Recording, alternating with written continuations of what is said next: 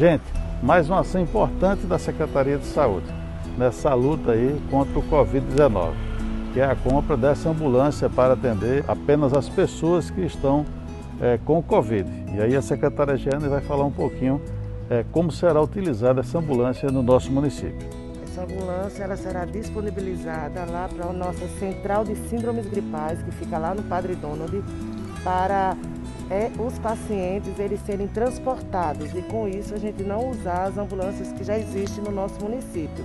É uma segurança para os nossos pacientes, é uma segurança para, para os nossos profissionais de saúde também. Perfeito. Então é isso, pessoal. Mais uma ação importante para que a gente combata o coronavírus de uma forma é, que as pessoas de União tenham o mínimo de prejuízo possível, principalmente com relação à questão das vidas aqui na nossa cidade. Um abraço aí.